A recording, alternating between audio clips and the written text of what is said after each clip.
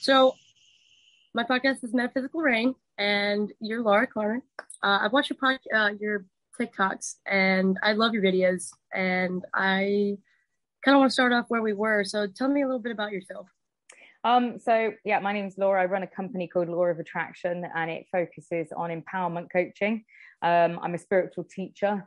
Uh, I do all sorts of things like tarot reading, energy healing, um, but I also do a lot of practical stuff as well. I've got a background in education and psychology, um, and so oh, I kind of merge all of those things together to try and what I do, which is what I call empowerment coaching, which yeah. is taking anybody that's not empowered and empowering them to have their better life. And that's kind of that's kind of me all around. No i love that. I um i've been thinking about going to school myself for um consciousness and uh human potential uh, i don't really know what i would do with that degree but it's something i'm really passionate about um i do still have a little bit of faith in humanity and uh, i think work with that absolutely i mean i think that although you know i work in kind of the esoteric and kind of off piste kind of stuff there's there's definitely a, a, lot to be said about education. I mean, I'm, I, I have been a lecturer for for the last six years, so mm-hmm. I'm not somebody that's kind of anti kind of the Western idea of education, but I think that we need to be. I think a lot of the things within our society needs to be rewritten to be helpful for everybody, rather exactly. than just for the few. You know.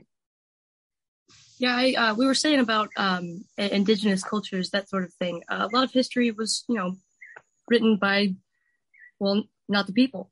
And uh, I think we need to go back to a lot of our ways, uh, the animistic beliefs, the uh, nature. You know, I mean, we've we've become so separated from our our origins and our source and our spirits, and I think that that's a lot of why there's so much chaos going on. Yeah, well, what, what we've kind of seen since sort of ancient Egyptian times is that we've had things called mystery schools, and these were the places where all of the esoteric and occulted knowledge was passed from the elders to the new generations. And as our society has become progressive, um, actually what's happened is all of this information has become lost, but it hasn't been lost. So place people like the Rosicrucians, the Freemasons, um, yeah. all of these secret societies that are not very secret anymore, but all of these secret societies are actually modern mystery schools. They teach the history, the true history of what the planet is, of the connection between source and spirit and we know what the masons call the great architect um, oh, yeah. you know in talking about kind of the, the, the great architect the people not the people the spirit the the consciousness that created everything and as we've as what I feel that has happened is that there has been a select few that has recognized that if we occult this knowledge, i.e., if we hide the knowledge, that's what occulted means for anybody that doesn't know, um, so if we if we hide this knowledge, we, the people who are hiding the knowledge, have something over everybody else because it's mm. this knowledge that allows us to really live and understand what we are and have a true connection to our source, which means that you are an empowered being. And so the people who are like, like for instance, the people who set up the Freemasons. So uh, you know, obviously, you're you're America's kind of you know new people to come into the new world to come and settle and steal from the kind of first peoples that live there. Uh, you know, George Washington, Benjamin Franklin, you know, the, the list goes on. Yeah. That these people were fully aware about all of the information that has been now occulted. And actually, what the people who are kind of at the top of this pyramid, the upper echelons, the elite, what, in my opinion, that they've done is they've recognized that knowledge is power. And so if they can occult that knowledge and not just occult it, but also teach the people, the people who's at the bottom of the pyramid, that all of this information is nonsense, conspiracy, um, you know, woo woo, magicalism that doesn't exist, then they stay in power. Yeah. And, and this knowledge has been something that's been passed from generation to generation since ancient Egyptian times.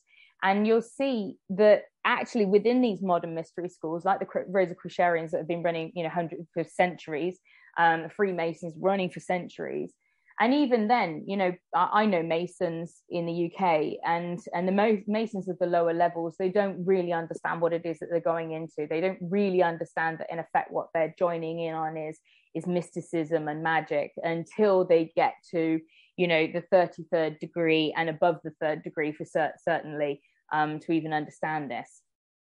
It's it's really crazy that you mentioned that even because my uh, my grandfather uh, he was a Mason and my grandmother was a Eastern Star, which was the female version. Um, but we didn't really know a lot about it. And I remember being a kid and having these reoccurring dreams of very vivid Masonry symbolism. Like it's very strange that that would keep reoccurring. But I, have I've learned now that yes, it's very much uh, rooted in like uh, Egyptian mysticism and that kind of thing. It's very crazy. But uh, I've actually had somebody else about a week ago bring that up. My sister and I have been looking into our um, ancestry, and we're just finding all kinds of strange things. Well, when I was just talking to you about that, and you were just talking about your grandparents and stuff, I started to get what I call God pimples, which is like when I feel spirit and source coming in.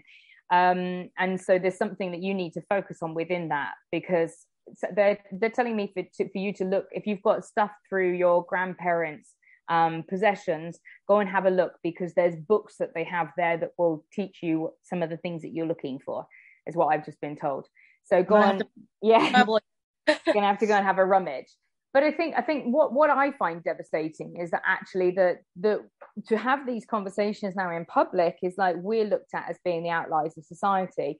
That that you know normal people. It's been mm. so occulted now for normal people that and and atheism has also been sort of pushed so much you know in intellectualism without actually that you know creative side you know the intellectual of the of the masculine ideas of just ideas without any soul without any creativity you know loses that gents the gents of the intelligence is creativity and that's the reaction the recreation of what you've learned and unfortunately our world at the moment really only just stays to that kind of masculine side of the brain which just talks about learning things and then you know remembering things and that's kind of it really um, rather than any recreation. And we need to bring back in that feminine to be able to balance things. In our world at the moment, people are so sort of atheistic with their with their thoughts of actually the world that we're living in, and it's very reductionist.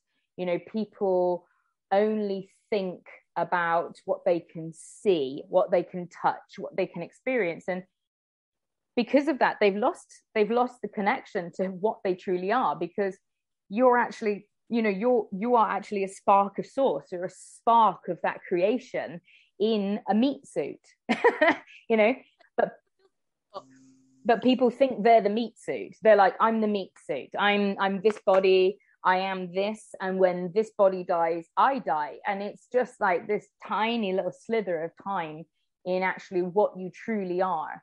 Um and and you know we were we were talking a little bit about how um I mean, I, you know, I, I, would say sort of the great conspiracy of the last few hundred years, and looking at America is a really beautiful example of this, because we had people who were aware of this occultic knowledge, moving to, you know, a brave new world, and in the process of doing that, removing all, if not, you know, as many of the people of the first people that lived there that actually understood what was going on in the world, and the First Nation people of all countries knew a lot more than what we know now. And this this sort of theories of of the, this occultic knowledge is is fantasy and it's myth and it's legend.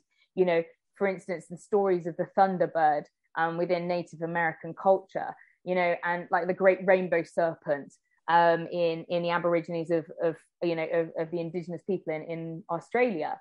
And all of these stories are not they're, they're stories but they're stories that talk about some of the most important occultic and esoteric wisdom that we can ever learn.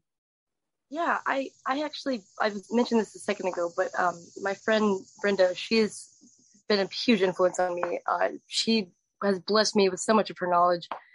And um one of the things that she would talk about is that you know the the the, the nations the tribes that they have this prophecy, this belief that, you know, the seventh fires, the seventh generation, the, the rainbow prophecy, if you will, yes. uh, it lines up with the Mayans, uh, what yes. they believe. But it's all talking about we're going to go through a huge shift. And it's, I believe it's now. I believe it's now. now. Years. I, I had mean, uh, an experience where I was getting like visions of it, and everybody thought I was crazy. I did too. But um, no, it's it's just become more and more like solidified the longer that I research the more I learn about it. and it's just a really beautiful concept. But people really do think it's just some woo woo stuff. Like, yeah, and it's really frustrating because I mean, not only is that kind of inbuilt into racism, and I find like in America, racism is a completely different issue over yep. there than it is anywhere else it's a hard topic. yeah, but it, but it's I think it's because of the fact that you're all completely disconnected. I mean, obviously individuals you're not, but as a as a people, as a land, you're Absolutely. all so disconnected from who you are and what you are. And you know, the quashing of the truth of what America is built on, on the truth of the original First Nation people, you know people like yourself i think you said that you had um, irish background. Is that is that right? That if i remember watching a video of yours? Something something like that. I mean i, I know i'm ginger for sure. Yeah i mean you you look kind of scottish irish yeah. kind of descendancy. So so for, for for your family lineage you know you've probably got celtic gaelic which would have been the first nation people of england um, and in scotland and ireland and you know the united kingdom um, anybody anybody that's not English is going to just slaughter me there, just being like England. So that's like the worst thing. Druidry also. I um not entirely sure. That was that was more Gaelic, right? Uh, the Dru- Druids, like Druidry. That that was more like a Gaelic kind of uh or Germanic, maybe. That, am I yeah, right? Yeah, I think so. I think there was well, England, England, and all of us, you know, the whole of the United Kingdom, Britannia, um, is is a very mixed up place. The same as what you know America is, but the problem is, is we know we know our history and we talk yeah. about it happily. Um, I think there's something with America is that your history has become squashed. It's become it's become squashed because people don't want to recognize actually what's happened, and it's become politicized, which oh, yeah. is why you know it's not talked about. And and because of this, it's become this kind of very hot topic issue that people don't want to touch and so yeah. through not touching it through fear of kind of like offense or or I don't know, just bringing up stuff that is uncomfortable to deal with, you know, you we, you kind of you never kind of really learn who you all really are, and you've become disenfranchised from your lineage and people like yourself that are that are settlers to America. Yeah. You know, you guys have become disenfranchised because you, you know, I know in America, you, you hear a lot of people describing themselves as like, oh, yeah, I'm Irish. And it's like, well, they, but they've never been to Ireland. It's like, you're American, but your lineage is Irish. But there's that desire to connect with that because they don't know where they're from. They don't know who they are. And there's, it's, it's, it's, I, I, devastating yeah it's and it's it's a hard thing to deal with because you you want to have a connection to your where you come from and and who you are. And I, I have a connection to um, Native American ancestry as well. I mean, I've been told, I don't know. It's definitely not enough to claim or anything, but I, I've even been told that uh, there's like a Spain, Spanish, you know, and I'm just, I'm learning all this. It's so strange because I never would have imagined. I'm like, where is this coming from? But me, me and my sister both are getting into trying to figure it out. Uh, I think we're kind of the black sheep of our family. Uh, our mother was an addict and, uh, our whole family's kind of looked at us like, uh, I don't know, I don't know how you're going to turn out. But, uh, but now we've just kind of come together and been like, you know what? We're going to make our own thing happen. We're going to figure ourselves out and we're going to reconnect ourselves to come from and who we are. Like that's, that's been my drive for the past couple of years. Just learning, understanding, finding truth. I mean, the most important thing for people as individuals is to know who you are, why you are where you are, and where you've come from. And if you aren't, if you can answer those questions, then you can see fully where you're going to. You know, history in our history and our lineage, lineages are are um, you know our our generational trauma is passed genetically now. I think they've said up to thirty generations. So, for oh, yeah. instance, if you've if you've come from um, like a, a lineage of Irish settlers, for instance, that had come over in the potato famine, that that famine is hardwired into your DNA as something that you will experience as present day within yourself as a present day trauma effect for your life. So this could manifest for for a person like you know just using you as an example. But if that was the case that your your great great grandparents had come over in the in the potato famine to settle in America, and then you here now in this present day have an issue with scarcity and you have trouble letting go of things that don't serve you and you have trouble um, you know not squirreling away money and things like that. And you think or you have a poverty mindset where you can't keep hold of money and you can't keep hold of things and you're always in this cycle of like lack. A lot of that is spirit is spiritually connected to where you've come from because you know the genetic lineage is just like a line after line after line of like person person person. And this you know your grandmothers and your great your great grandfathers and the people that have come before you you are the culmination of them and all of their experiences. So something that happened when when the, you know the first settlers came you know the white man as it were came to america and and stole the history rewrote the history books, even the conquistadors, you know, in, in, in South America.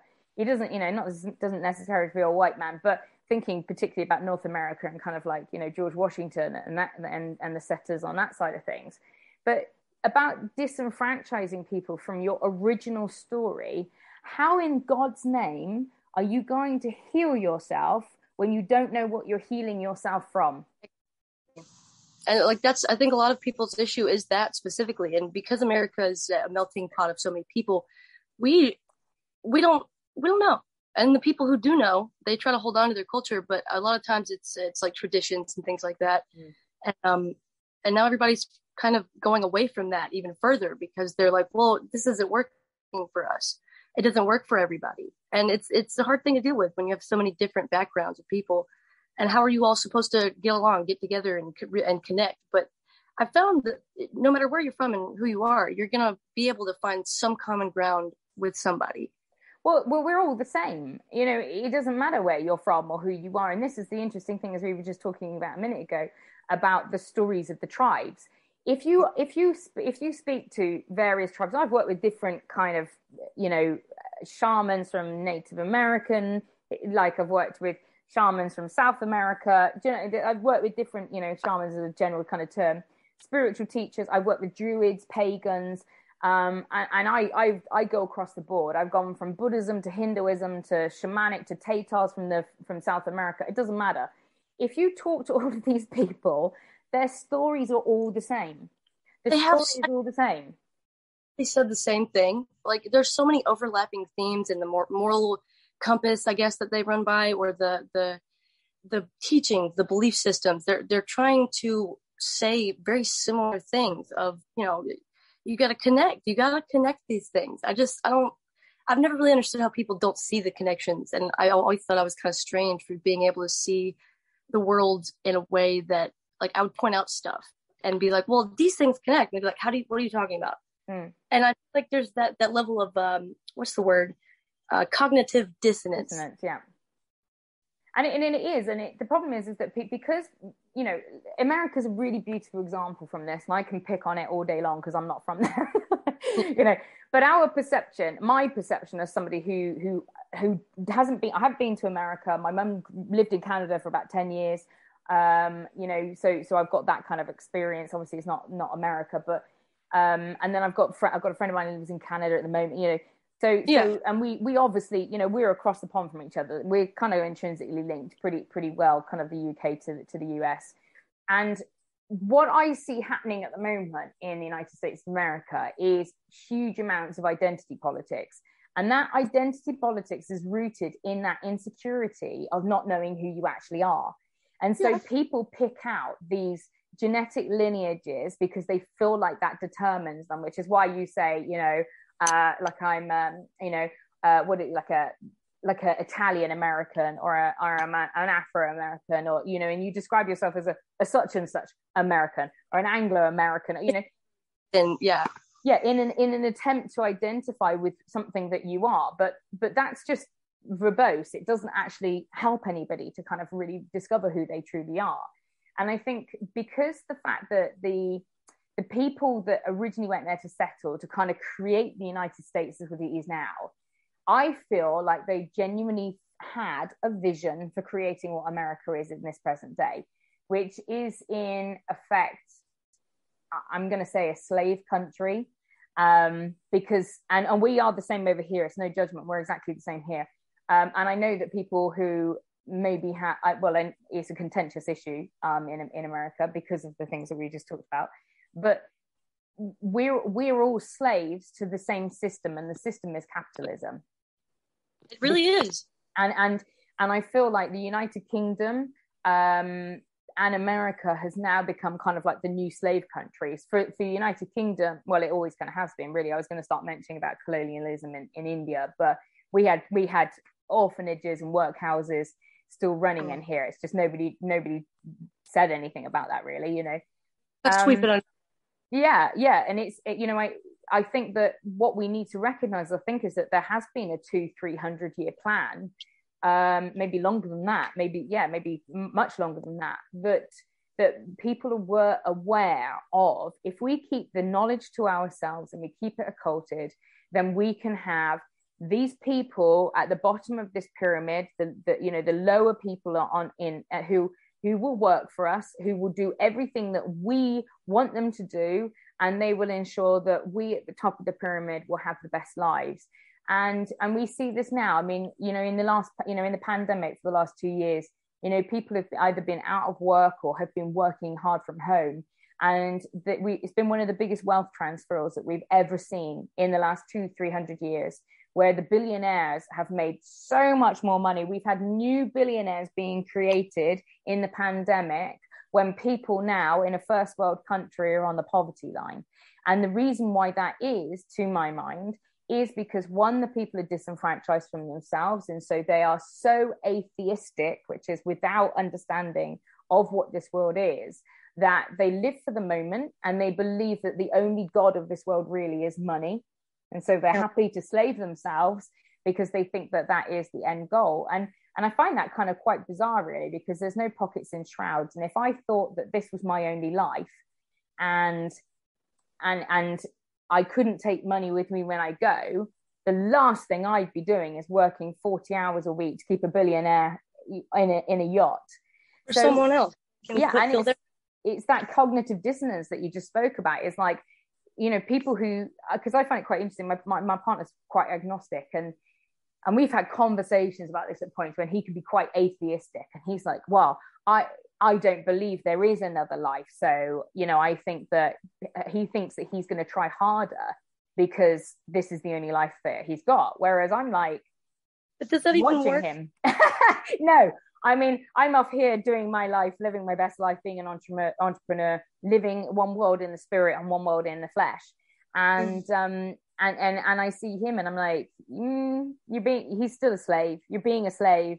Yeah. Um, you know, and I think, I think that one of the beauty things of the Great Awakening, as something we just kind of touched on a moment ago, is actually that through this Great Awakening from the pandemic, that people have begun to realize that they are slaves, and that mm-hmm. to be a slave doesn't necessarily mean like you know what what we're thinking about, you know, the East India trading kind of regimes.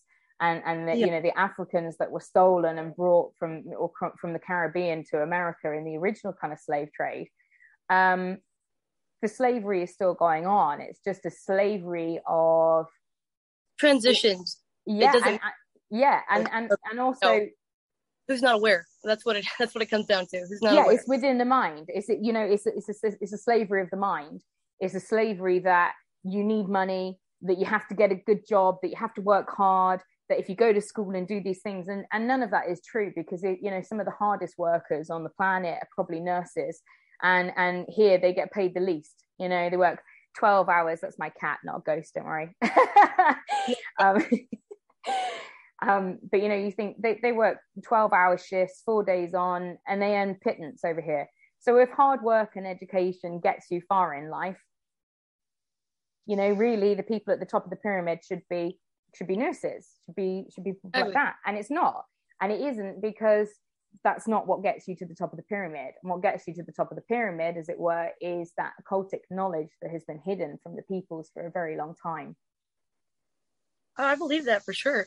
I mean, uh, uh, speaking on that, I was going to uh, mention this earlier, but have you ever read the Kybalion or the Kybalion? Yeah, parts the, of it. Mm, the part about uh, those who have eyes to see and ears to listen. Uh, my husband read it, and the way he took that was, well, that that's iffy to me because that's like a like a secret thing like you're keeping us out of it and i'm like no that's not really what it is the knowledge is there you have to seek it mm. if you don't mm. don't want to learn it if you don't want to listen to it if you don't want to see what they're trying to say you're not going to mm. it's not the, a cut off kind of thing it's that you have to seek it out but nobody knows to seek it out but we see that now i mean you, you know we were talking about kind of christianity um, i think uh, and and and all of the sacred texts, all of the scriptures are all talking about the same sorts of things. Um, it's just that again they've been kind of perverted and bastardized to yeah. stop people really understanding what the true messages of these texts are. You know, and the Kybalion talks about it as well as you know the books. I think it's in the New Testament that says towards the towards Revelation, where it talks about that those with eyes will be able to see what's happening on happening. Yeah. Now, right now, I genuinely believe, and not from a Christian doctrine point of view, from the genuine meaning of what the books of the scriptures were about. Oh, yeah. We are currently, and you know, the Mayans talked about this. You know, everybody talked about it. I mean, some of them are a little darker than others, but yes, yeah, so they're all oh, talking about the things that's happening right now. The apocalypse. Like, like I a couple years ago, um, I, I kind of touched on this a little bit, but uh, I had what I can only describe as a, a mystical experience. I was I was completely it, it, was one of those peak experiences that uh, like uh, Carl Jung or uh, Maslow talk about in uh, so, um, self transcendence is that like moving beyond the you know myself and I it's it's there there is this oneness mm-hmm. we are all a part of the same system a part of the same universe and there is a, a collective unconscious if you will mm-hmm we're we're all connected to and that yeah. goes back in with the uh the genetics and that sort of thing i mean if you look into like the akashic library that would be like the spiritual record keeping that our dna holds we have mm-hmm. a biological record keeping system but we also have a spiritual and collective conscious combination of this knowledge mm-hmm. it's there and I, I feel like people don't really see that there is that that dualistic nature to it but it's it's also paradoxically one and none uh, it's it's very confusing when I try to explain it to people because they're like, "Well, that that's contradictory," and I'm like, "Exactly, that's that's what it is. It is a complete contradiction of itself." I mean, if that makes sense. Yeah, it does make sense, and it makes sense to me. But this is that thing: those with eyes can see, and those with ears can yeah. hear. And and you know, going back to that, the problem is is that if you don't have the actual awareness that you were something before you were you, mm-hmm. and before you become entrenched in the ego of the I, of the individual, if you can step away from that, you can actually then tap into the hive mind. And you, the hive mind is that that um, sensory awareness that you were something before you came became you. You'll be something after you're you in physical form, and that those things are all connected prior to this, which is why a lot of the stuff that is taught to create this cognitive dissonance within people and to keep the occultic knowledge that we are all one effectively um, and that we are we all come from god um, you know or source or the higher mind or whatever you want to call it.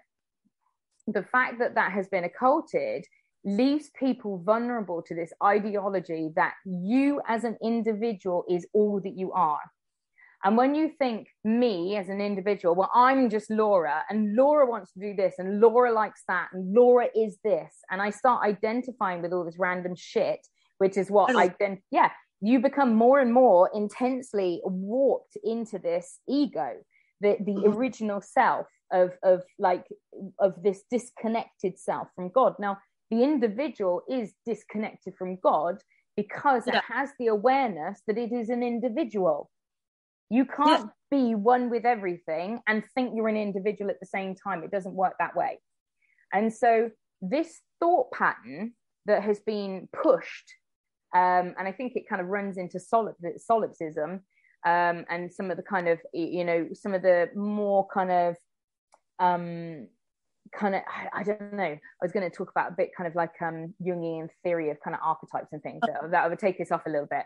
But to, to, to become so attached to the ego and when i say ego for anybody listening uh, that doesn't know what i mean by this i'm not talking about you being arrogant and thinking like me it's it's a, it's the connection with you as an individual now if you are a reductionist and somebody that is a materialist that is like i think therefore i am and you're touching that's a table the table's there you know and that's your experience of the world you can't even even ex- understand that you're something other yeah. than than this person in this body but that idea and that disconnection from god because we've in effect become trapped in our meat suits which kind of becomes a prison for spirit in this realm if you can't disconnect from the ego and the original thought that I am an individual, then this is where we see things like identity politics that take root, that people, you know, dissolve and, and genocides. Genocides happen because we look at that as being the other. I am yeah. this and you're the other. Separateness. Yeah, and it's the separation that causes all of the problems. When you recognize that we're all one, one great big family, and it doesn't matter whether you know you know racism is built in this doctrine of the fact that of the, that i'm an individual and you're something else um, and this predication that there's something different. And it's devastating because when people if we were raised to instead of you know what's the first thing that people ask you? Like when you meet somebody you say hi i am laura. Hi i'm laura you know and we identify with our names. Now before language was created, people didn't think in individualistic terms because they couldn't express themselves as individuals. They were part of the collective. And that's exactly. why it's really important that we we listen to First Nation peoples because the the information that has been passed and talking about the ancient Egyptians at the beginning, you know, the information has been passed through pictorial languages Oh yeah, it, it transcends the the need for the the lettering, the language part of it, because you can a lot easier decipher that because there is a visual. I mean, we, we all are able to. That's why symbolism. I'm sure you, you've read about the, um, Carl Jung and uh, the symbolism book he wrote, but it, that's so true. And because you know Western society, we're so cut off from a lot of Eastern and a lot of indigenous and you know things like that types of symbolism. It's not ingrained in us for it to trigger some kind of uh, information. But that whereas in Eastern countries, they are you know brought up with these symbolisms and things like that, these teachings, and so there there's this idea of I don't really know how to say it. There's more of a connection to that. Like it triggers you to wake up in a way and seek out these types of uh, altered states or altered perceptions. And a lot of Western society is not it's not founded on that. And you, it's there but it's not something that's as easily recognizable. Well, the problem is, is that the language disconnects you from source. The language disconnects you from your original self because through the language, it perverts the holy. Mm-hmm. So, the, particularly if you think about like um, English, which has now become the, the language of the world, um, you know, other than Spanish, which Spanish is better than better than English if you think about it from kind of like a, a point of view from the spiritual. Yeah. English language has become is is the bastardized version of Germanic, of Latin, of a culmination of many different languages pushed together. Now, what happens is that originally, through the pictorial languages, you are not creating a vibration of something when you're absorbing information. Does it make sense? So if I'm if I'm looking at a comic and it's got no words, okay, I'm not ex- yeah, I'm not experiencing that on a vibrational basis where I'm creating kind of like a uh, like a, a like a um like a I don't know, like a phantasm or something of that thing, right? Yeah. So, so the language, what what language does is it perverts actually what we're trying to say. It, it bastardizes the the information if I if I showed you a photograph of something and didn't there was no language on it, what that does is it taps into the innermost subconscious, which is one one place that's most connected to your heart center and to God. Now, language comes from the intellect, and when we talk, you know they call it spelling for a reason. Words and vibrations. The vibration created this universe. So our words can create um, yeah. emotions, feelings, um, ideas. It, you know, me saying, "Shall we go and build a house?" That will create the creation in aspect. Yes. Now, what people aren't aware of is that because of the way that language has been formed, and particularly things like English language, it's become bastardized so much that the words that we use the words that we use actually no longer represent the things that we're talking about. And but, it's also being infiltrated. Create when I speak, or uh, in the beginning, you know, in the beginning, the word was God, or something like that. Yeah, yeah. Book of John. In you know, in the beginning, the word was good, and it was with God. And that's mm-hmm. because mm-hmm. the vibration. It talks about the vibration. If you look at the, the original text in, you know, the Nag Hammadi or the Vedas, um, you know, it talks about that in the beginning there was a noise and the vibration created now now we use our vibration no longer as a creation but it, it, does create we're just not consciously aware that the things that we're saying um we're creates creation we're creating like yeah. that's that's I think that's what part of that disconnection we were talking about comes from also we don't realize how powerful the words can be. yeah. And people have become so occulted from that knowledge now that they've lost the understanding that the things that you say about yourself and the things that you say out loud create your universe, they create your reality. And this is some of the most potent information that is taught in some of the you know some of the ancient ancient mystery schools whether it's the freemasons or you know talking about um you know the kabbalah or or some of the ancient mystery any of the mystery texts they talk about the fact that the original originator the the source created the world and created the universe through vibration. And now people are people are aware of that because look at quantum physics. You know look at science. People think now you know an atheist will say oh science disproves spirituality. Mate if you understand spirituality science yeah, is science is proving it right.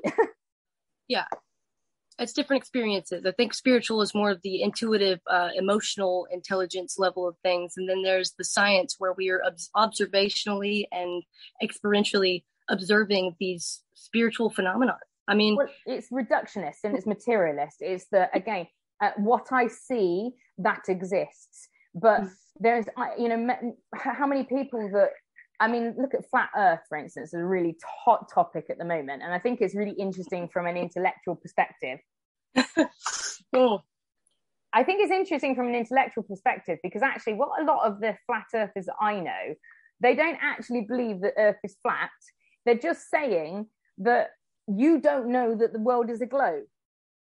Yeah. And, and if people are taking it from a perspective of if I've seen it, I'll believe it. Well, have you ever seen the world with your own damn eyes to say, exactly. yes, that is a globe? And I think this is the problem is that now uh, science has become the new religion and religion is the is is really problematic because religion is about not you having a relationship to god it's you having a relationship to an egoic human being that says that they know god and that you can't have a relationship with god that's what religion is about and you don't need another person to have a relationship with god because you you are a spark of god yeah well, i mean we are it I guess Christianity a little bit. I mean, the the vessel part of it. You know, you were you were a temple in a way, mm-hmm. and I have misconstrued that that idea, but it, it's true because when you look within uh, that know thyself type of uh, um, seeking, you find the entire universe within yourself. I mean, what, uh, what's the word? Um,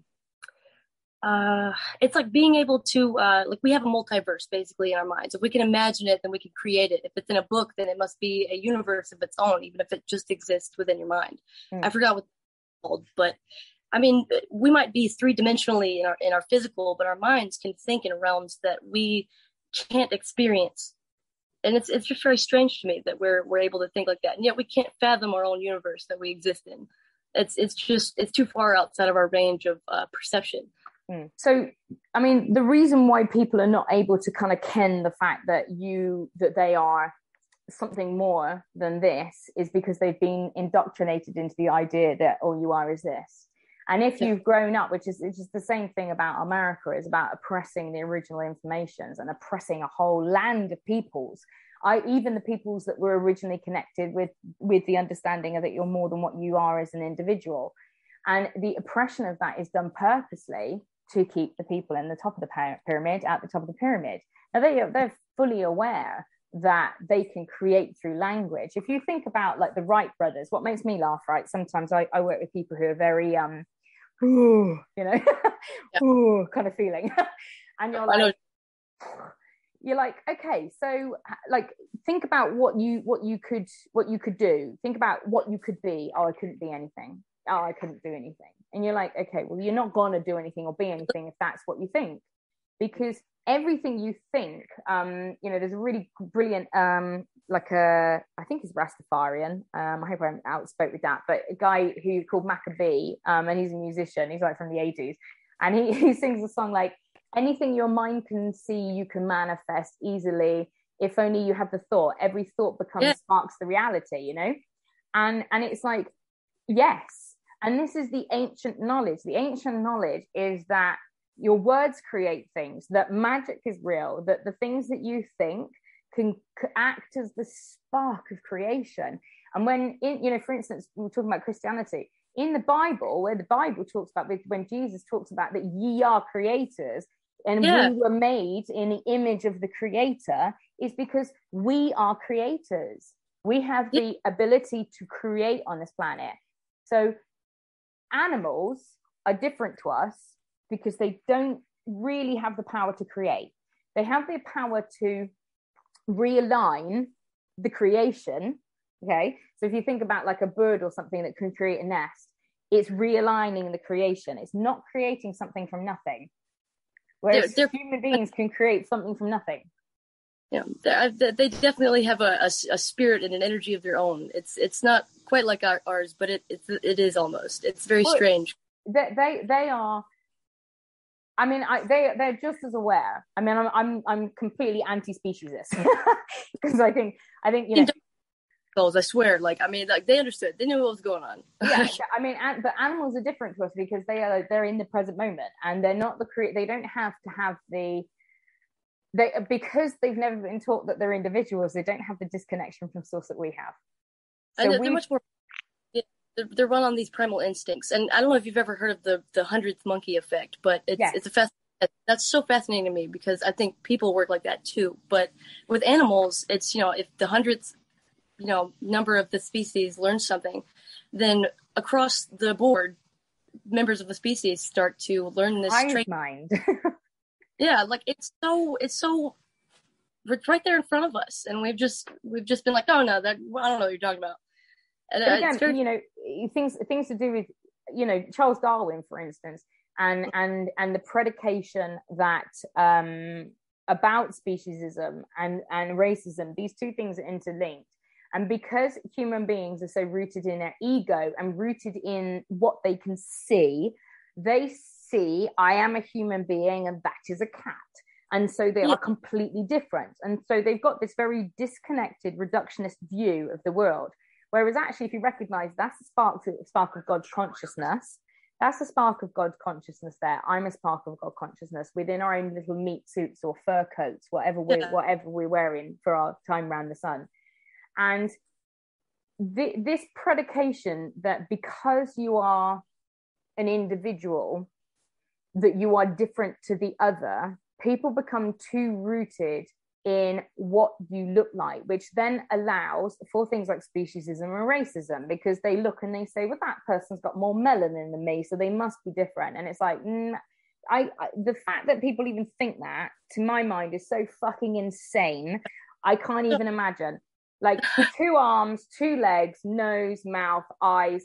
It's like saying to me, to my mind, people who who think that we're different races, I just can't even understand how you'd be that stupid or that have that level of a cognitive dissonance, because it's like saying that a black cat with black fur is different to a white cat with white fur, and that they're a different species. Like, are you insane? Like we don't do. I've got two cats, that, brother and sister. One's just walked in. He's grey and white, and the other one is black and white. They're not different species. and but this is this is what's happened with the human beings is because they've become so disconnected from what we are and they've become so entrenched in the individual in the individualist view of the world and the thing that really perverts it and creates the perversion in a human mind is the language the fact that we can say this or that.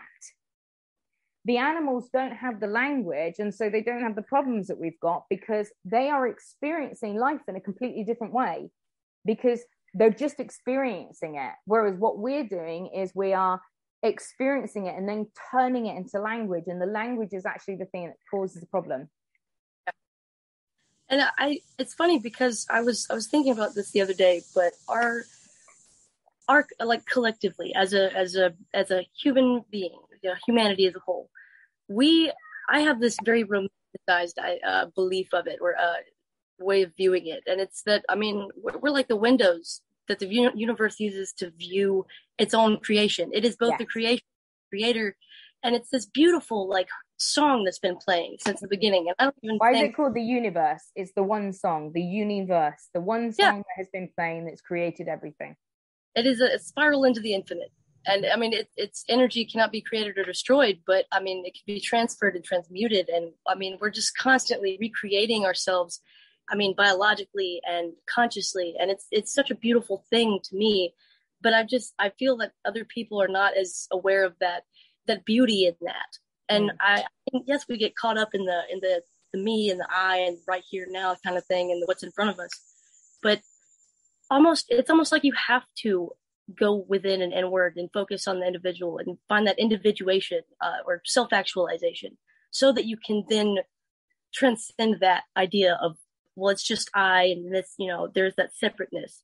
You have to go through that to go through the nexus of it, if you will.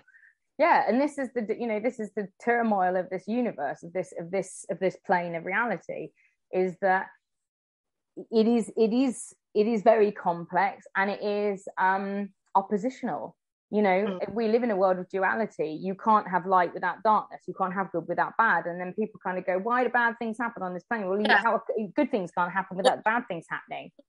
Didn't know the bad. You, you, it's kind of like you have to have that uh, equal and opposite for you mm. to at all. Yeah and science talks about this that every every action has an equal and opposite reaction and this is this, this is the thing that you're just talking about is that you have to know the individual. You have to become so entrenched in the individual before you can understand that you're part of the collective. Because how can you understand you're part of collective if you haven't got understanding of the individual? Yeah. and and it's just uh, i always say like you know all the spiritual work that i do with everybody it's always just there's always a kicker. Do you know what i mean? It's like something will happen and then you, the thing that you think you're supposed to be doing is probably the exact opposite of the thing that you should be doing. So and it's it's just this great joke. Like i sorry to interrupt you there. I, I have a bad habit of that but i i, do. I, I don't trust themselves. Like i don't i think that i've become i'm just now getting back into trusting my intuition and trusting you know my my finding system. I don't gps spiritual gps if you will. Um but I didn't for so long, and I'm still not quite where I would like to be with that. And I think most people don't trust their own judgment, and you almost kind of can't because we're basically hallucinating our reality. I mean, who's to say that your memories and my memories are the same because we're experiencing different, completely different realities in the same outer. I mean, it's difficult. I think that, okay, so there's two points there. One is intuition, and one is thoughts.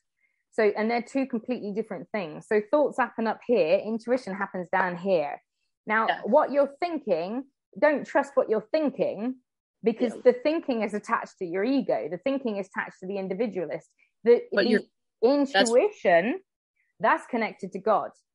Absolutely. That is God. That's your higher self. That is source, whatever you want to call it, that doesn't trigger the shit out of you. People hate the word God now because of religion. Well done, guys. Um, mean, you know, the, the energy that you cannot see within us, it's the it's the force. Quantum physics talks about it. If you're an atheist, then the the the unseen forces of this universe, vibes, vibration, gut instinct, it doesn't matter. It's the same thing the animals run off of. You know, when you walk into a room and you go, oh, I'm not sure, I don't feel safe here. I, I don't like this person, or I get a bad vibe off this person. That's not because you're thinking things. Your brain will come in and go, hang on a minute, give the guy a chance. You don't even know him. Don't listen to you, him. you know? Yeah follow your gut instinct. And what you were just saying then about you know that god is experiencing itself in infinite ways through individualism. And this is the beauty. So when you're down here as an individual the aim of the game is remembering that you're god. Now when you're yeah. up there the name of the game is trying to become an individual. Because oh. when you're everything you want to be one thing when you are all encompassed, omnipotent light of omniscience, what would you want to become to experience? You want to experience hardship and darkness and sorrow and pity and misery and, and different yeah. emotions. Yeah, and that's the yeah. beauty of being a human being. It's a game. It's a it's a world, and it's a world of enjoyment. Now, if you don't understand that your source in in like a spark of source in a body, then people go to me, well, why did I get cancer?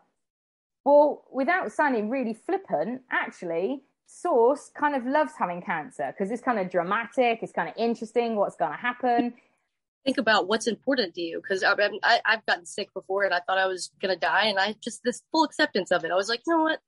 I've lived an all right life. I've loved. I've I've laughed. You know that kind of thing, and um, it kind of puts you in that state of appreciation, or yeah. or you can go either way with it. But I think most people try to enjoy and, and see what what their value of their life is, even if it's going to inevitably inevitably end sooner than they might have thought. And and the problem is, is that if you live in a materialist and reductionist view world of the world, then that answer makes you want to punch the person in the face because it's like, oh well, God's enjoying himself. You're like, what? but the problem is that the people think that God is this guy up on a cloud that's like playing The Sims, you know, yeah, and and and just inflicting horrible stuff on people. But it's like that's not that isn't what's happening here. What's happening here is that God is like doing a finger puppet show for itself. And it's like, yeah. okay, well, this little piggy went to market, you know, and it talks about, you know, it's all these different expressions of the world. And why? Because it's enjoyable. When you are omnipotent and you are omniscient and you are everything. And I've when had ex- of that. Exactly. Like, so, so I've had experiences where I've been up there. Okay. Mm. Now, when I'm up there, it's, um, it's like just light and awareness and yeah contentment and peace. That's what it kind of feels like. So, the place where merges. so, and I have this really good story for this. It's like you know, the little light is upstairs, um, talking to talking to God, as it were, and it says, "I am the light. I am the light." And um, God says, "Yeah, yeah, you are the light. You're the light." And then he goes, "God, God, how light am I? How light am I?" And he goes, "Are you sure you want to find out, little light?" And he's like, "Yeah, yeah, I want to know how light I am." So God casts the light into the darkest place in the world, and the little light sits there and goes, Why have you forsaken me, God? And it's like, how can you know how light you are until you can experience the darkness? And this is the problem. The people that we come here to experience the things that we experience because it teaches us the things that we wanted to experience when we are just up there as being one with God. Experience the the um, I, I don't even know if the corporeal corporealness of the physical yeah you you have to have that experience of it because if you were you know some omniscient being just knowing and consciousness but not experiencing anything that would be kind of sad. Mm. you almost create this this grand love affair. It is it is this beautiful experience and it is a happening and it is all right now. And it's just like i love thinking about this. I try to put myself in the right now as much as possible because we forget we're always thinking behind or in front of us. And I mean, you're going to trip if you do that, you know, like you can't be looking in front of you or behind you if you're not looking where you're stepping. It's, it's, there's a part of the appreciation of the where you are right now. And if you have gratitude for it, that's the fastest way to bring in more of the things that you do want in this life.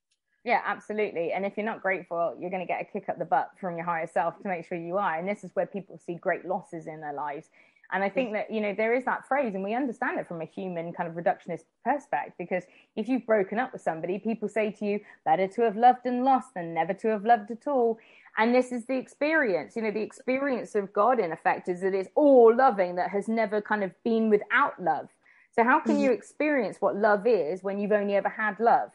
It's like saying to you, Oh, do you, you know, have you ever missed not being a man? And you're like, What? I've never been a man. I don't know what that feels like. Yeah. you know?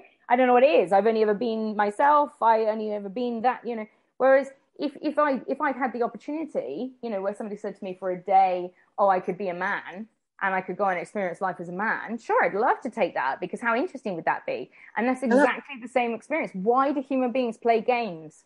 Look at the games that we play. Look at the virtual reality games that we play. Often it's like running away from zombies in a war situation, killing people and then people question why bad things happen on this plane. Like, are you absolutely insane? The reason think- why you play, yeah, exactly. why do you play games where you're going around shooting people, Grand Theft Auto, you know, being a criminal, murdering people, running people over on the streets, you know, why are you playing that game? Why? Mm. Because it's the antithesis of the life that you live and because it's fun because it's different to the thing that you're actually doing. And that's exactly the same reason why the main creator has created all of this beautiful universe of duality. So it can experience all of the things that it's not able to exist on the upper plane because the upper plane is just like light. It's just a plane of golden yeah. light. Awareness, it is the the consciousness, the, the all knowing, the omniscience, if you will. And that seems so boring by itself. I've been so- up there. I've been up there in spirit form, and and I've I've it, I basically became the easiest way to describe it would probably be I became a particle, and in that yep. moment of being a particle, it was like a drop of I explain it like a drop of treacle in caramel. Okay, so it all it was all gold and brown, and it was all very warm and lovely and sweet and delicious and I had the sensory awareness that I've always been the caramel, but I also had this understanding that I used to just be toffee or whatever my original yeah. thing was.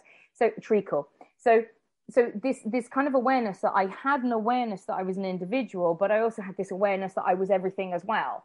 And that was my experience of of, of of of basically leaving my body and being in spirit at that point. And I've similar, but it, I like the way you describe it with the the being the the, car, the caramel. Like it, it does kind of feel like that. It's it's, it's strange. Um, but it's like it's like that sort of you know you ever get like a smell of like that just makes you feel like for me it's cats. I love cats. So you yeah. ever like just bury your face in a cat and you're like, damn, this smells like home. Or, or some people it's like warm cherry pie or something, or apple pie or something, something that gives you that, or cinnamon or something, something that gives you that real mm, feeling.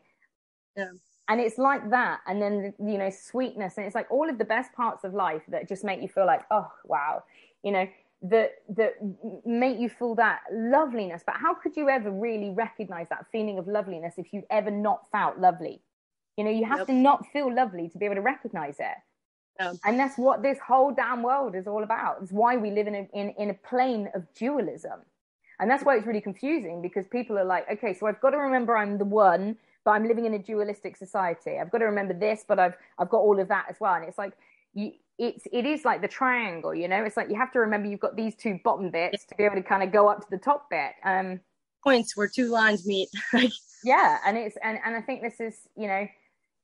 I mean, that's interesting about the third eye kind of perspective there, just kind of thinking out loud is like, you know, through these two eyes, you can culminate from your materialistic experience to the inward experience of the one eye. So you know, of this one God's eye that really is the thing that kind of everything comes from. But the language is the thing that perverts it. I mean, sorry, I interrupt you oh, again, but I interrupt all the time. We're neurodivergent. Don't worry about it. yeah, I love the back and forth. It's it's good. Um, but you know, like the the pine cone, the pineal, uh, there's this this symbolism of it throughout just all these different cultures and times in, in our history. And what's crazy to me is that we we don't most people don't really know the the science behind it. But I oh it, I could go into it for hours. But simply, it's the the crystals, the DMT crystals that are in your pineal, and it's what's released when we're born and when we die. It is mm-hmm. a, a, portal to this this realm. I mean, it is the spirit to us through that God's eye. And uh, you know, back in February, I went to an ayahuasca re- retreat, which is the five MEO um, mixed with the DMT, and talking about the original shamanic people of this world and the original witch doctors or whatever you would like to call them, medicine men, uh, tribal elders, the wise ones. what you know, the shaman is kind of like a you know thing that everybody is widely used now for for all of them. Yeah. But um, the the how on earth if these people are not in connect with something else. How on earth could you get two people walking around you know people walking around the amazon rainforest and know that that vine with that mm. tree can be pulled together to bring two of the most nation. And it's, it's, it's impossible it's impossible. And they also didn't if you ask them about it they don't say oh we went round and just mixed all the leaves together and we just kept on mixing and mixing and mixing until somebody something happened. No. Well, they were knowledge like they they, they were like, given that knowledge that's and that's so beautiful. Like i just like they, they're deeply understanding of that. They, they're yeah. in connection. But this proves it to my mind this proves it because now we have science that is catching up with thousands of years of indigenous information and tribal awareness that is circumvents uh, it circumvents some of the knowledge that we have now you know and all you know things like you know the mayan people the aztecs how the hell did they build all that stuff don't tell me that these people were bronze age people running around with sticks and stones like are you are people insane to even think this. The, the amount of advanced advance, advancement uh, as a society, a lot of the indigenous people were when when Europeans first came here. It's crazy because there's not a lot of history about it, but we're starting to resurface of that. No, they had extremely advanced agriculture. They had floating gardens so that they would water themselves, which is people. I mean, nobody's really thought of that now, and I think it's so fascinating that they were so in tune with it and they knew exactly how to work the land so that they weren't overtaking resources and they were able to put back and there, it was just such a perfect harmony. And people I, came and that it was they're like, no, that's not right. I don't know what you're talking about. But, but like, this culture- is the thing. This is that disenfranchising you from yourself. Like if you if you think if your perspective is that we are at our highest amount of awareness, intellect, science, technology right now, you're wrong. Just anybody listening, you're wrong. Um, but but but if that's your experience of the world, and um, why you know then then it, creates where we are at the moment okay? And it, mm-hmm. it, it, it shows that there's this like very clear lineage. However that clear like line of history only really runs for a few hundred years. And if you look yeah. at america it's like okay so so why were all the mayans and the aztecs wiped out? Why were the native americans? Why were these genocides happen? Why did these genocides happen and to my mind, they happen deliberately because how can you enslave a whole population of people when you have people who are telling you, hang on a minute, we've been doing that for hundreds of years. You guys aren't advanced. You don't know what you're talking about, and your history is wrong. So when you can lure people in to a false history, a false rhetoric that, you know, that the, the, the Mayans were backward people, that they were Bronze Age people, that that to follow this, that, and the other because we're materialists, we're reductionists, that God doesn't exist if you can lure people into that rhetoric and that story, you can create what the United States and England actually is now. and to, to completely beautifully wrap back around to the original conversation, that all of that has been done deliberately because it allows people to become those slaves because you become disenfranchised from your original awareness of why we're here, what this planet is, and who you are. And if exactly. you just think that all the people that came before you are just cavemen, backward savages kind of thing, and that's not true because you look back and our brains, like they were the same. I mean, you can look at cave paintings or like, you know, when the Romans were going through uh, some part of Europe, they found cave paintings and they were very phallic. But it was just, it was funny to me because I was like, they have the, the same humor now like of uh, like ancient Greek and Roman graffiti is just like the same kind of humor that we would have today. It's like they could not possibly have been that different than us. But I think it's also, you know, as I was saying, the language is the part of the thing that's bastardized it. So because yeah. the because the ancient texts are pictorial languages, they didn't speak in the way that we spoke. They mm. they demonstrated things. So cave paintings, this idea, to my mind, people think, oh, okay, so without language, it means that they're stupid.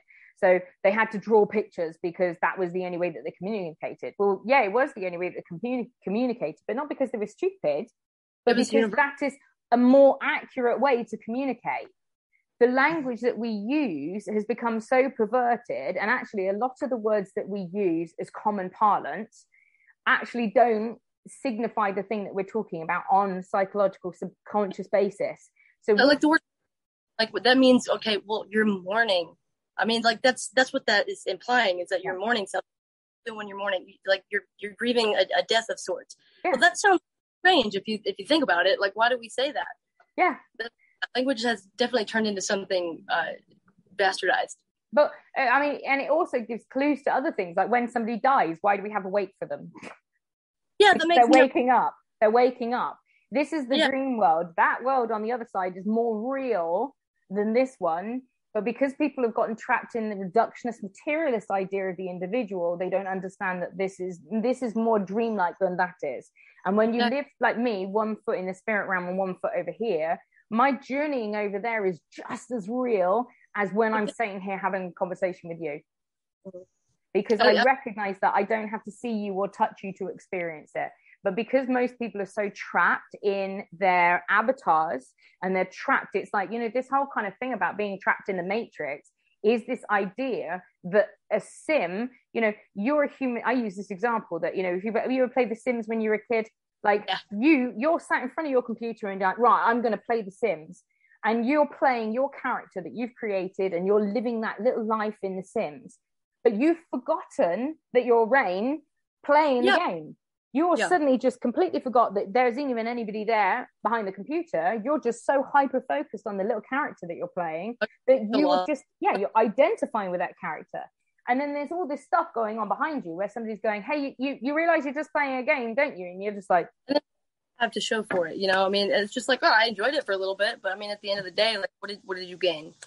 And, and, and the beauty is, sorry, go. Oh, go no, me too. Sorry. I just excited. yeah, this is why I was like, we need to have a camera because it's like two neurodivergent people just bah, bah, bah, it's excitement. Any normal, like neurotypical people would be like, these women are rude. and you're like, no, we're just no. neurodivergent. really excited, like, yeah, yeah, yeah. My husband is mad at me for that. And I'm like, it's not that I don't care. I'm just excited. Like, yeah. I literally had this conversation with my partner this morning. He's like, you never let me finish a sentence. I'm like, oh, I'm like, excited. My house, seriously. oh, it's nice to talk to somebody else neurodivergent. It's like, bat, bat, bat, bat, bat, it's fine you know I, but this is the problem and i think that you know part of the work that i do is working with spirit you know i do like healing retreats and healing day retreats in bristol that kind of encompasses shamanic journeying and um, you know energy work and chakra alignment and healing and and i work within the spirit world which means that when i talk to people i can see energetic issues in their body okay i can see trauma so trauma looks like on some people like tar like black tar yeah and, and other, yeah. yeah. And for, for other people, sometimes it might be something that looks like a leech. Yeah, mm. like a black leech. For other people, it might be like this dark mist. It depends on, I mean, I'm, I'm starting to see it in different ways. But yeah. I've had these, I've had these kind of like experiences with people, and I haven't, like this weekend, for instance, I did one on Sunday, and there's a woman I've not spoken to. That the amount of information was like, hey, this is how you buy tickets. Nice to see you. I see you on Sunday, kind of thing she yeah. rocked up and there was an accident on one of the motorways and so they came in late and i was like okay we're in the middle of a meditation come on in when you're ready toilets there just be quiet come on lie down and just join in so that she's not told me anything about who she is or anything about anything about any reason why she's here or anything. She lies down. I'm like right okay. So i can see that there's been sexual trauma in your life. I can see that this trauma happened here. There's been uh, there's been you know a traumatic incident happened with a parent um, or somebody like a parent form. Um, so that could be like a teacher an uncle or somebody somebody that takes that role. And and i said that but this this issue has continued to a to a, a, a spouse after the age of 18 now that's a lot of information to kind of just pick randomly off of looking at somebody and I'm yeah. healing her. As I'm healing her and I'm doing energy work on her, I'm giving this information to her. She's lying there in a meditative state and she's being quiet. Now, as I'm saying something, I'm saying, is this right? And she'll say, yes. Is this right? Yes. Is this right? Yes.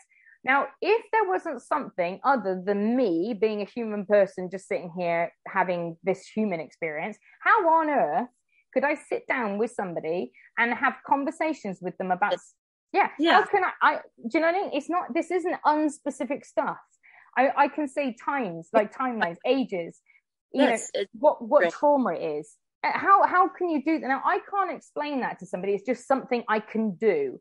So i'm a professional singer. I could teach you how i could teach you how to make your song better how to make your voice better but i couldn't teach you to sing like me because it's a natural ability right yeah. so if you've got somebody that can't sing i could i could help you to be a little bit better but if you're absolutely terrible at singing it would be very hard to teach you to do that so it's a yeah. little bit like that. I can't I can't teach you how to be somebody that can see energy, but it is true. That is my true experience of something.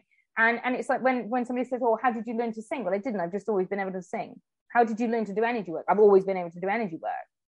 So and it's had the same experience with that. Like, I mean, I've always been very creative individual, and I mean, I, have been, you know, I used to be a lot more into you know, painting and drawing and that sort of thing.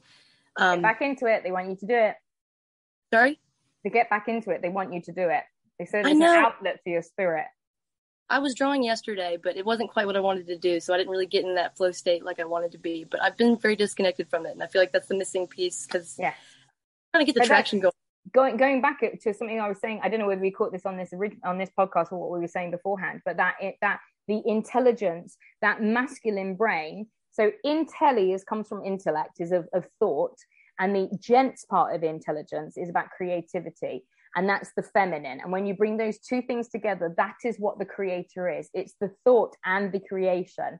Our world now is far too rooted in the intellect, which is just the thought, the thought, the thought, the thought. And that is the thing that traps us. But the, yeah, going back to what you said about uh, the, the the triangle a second ago, and, and, that does form a trinity because there's the you know there's the the lower uh, energies, there's the higher, there's masculine, feminine, and then there's us in the middle. Yeah, and this and is our- why you know Christianity talks about the, the Father, the Son, and the Holy Spirit. You know, that's the the Holy Spirit. The Father is the Creator, and the, the thing that came from the Creator. Yeah, the Mother, Maiden, and Crone. I mean, like yes, Mother, Maiden, Crone. Yeah, and and all of the everything, all of the spiritual texts, everything all talks about these things. Have you ever read um, the Yoga Sutras of Patanjali? I haven't, but I will look at. I just reach over. It, this is it. It's the smallest book you will ever read. this is some of the most esoteric, occulted wisdom that you will ever, ever read.